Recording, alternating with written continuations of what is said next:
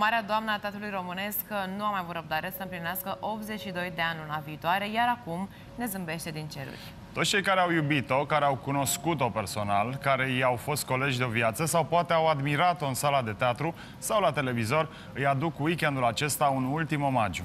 Colega noastră, Violeta Miron, este la Teatrul Constantin Tănase, acolo unde Stella Popescu joacă cel mai greu rol din carieră. Violeta, te ascultăm. Încă o zi tristă pentru lumea artistică, dar și pentru cei care au iubit-o și au îndrăgit-o pe actrița Stella Popescu. De două zile de când s-a aflat uh, vestea tristă, mm, lumea teatrului uh, românesc, dar uh, și mari cântăreți din țara noastră sunt paralizați și parcă nici acum nu le vine să creadă că marea artistă nu mai este printre noi.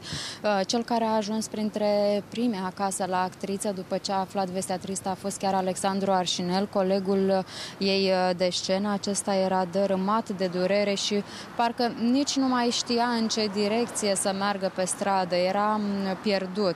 Era foarte afectat, uh, foarte trist uh, și a spus că în ultima perioadă el nu a auzit-o pe Stella Popescu, spunând că ar avea vreo problemă de sănătate. Totul, această veste a fost ca un trăsnet pentru artiști, așa cum a spus și Corina Chiriac, care ieri a venit să își a rămas uh, bun uh, de la Stella Popescu, de la colega ei uh, de scenă. Și um, a zis că nu a mai plâns de când a murit uh, mama ei și că este o pierdere grea atât pentru ei ca și colegi, cât și pentru țara noastră.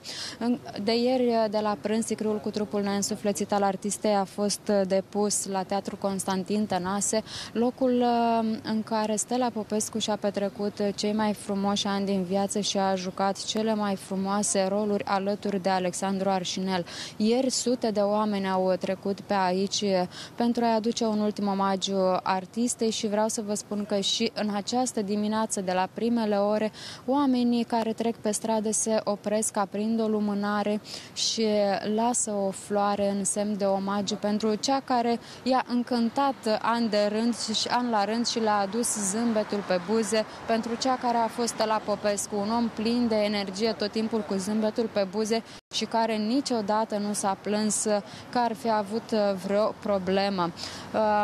Vă reamintesc că artista a fost uh, joi după amiază găsită în casa ei, chiar de fica ei, uh, Doina Maximilian, locul unde ea și-a petrecut cei mai frumoși ani din viață și um, unde avea cele mai frumoase amintiri. Mâine, la prânz, Stella Popescu va fi înmormântată la cimitirul Mănăstirii Cernica, lângă soțul ei, Puiu Maximilian.